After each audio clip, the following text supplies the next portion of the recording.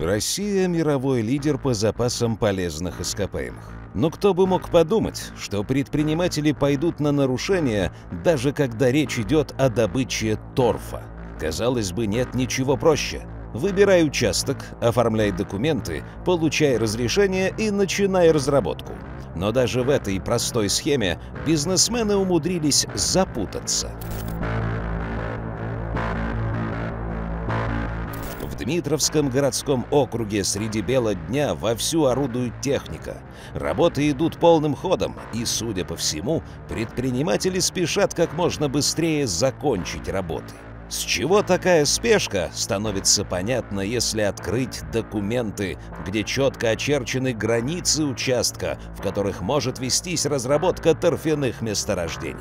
Прошедшая по нашему запросу проверка подтвердила нарушение налицо. Причем уже не первое.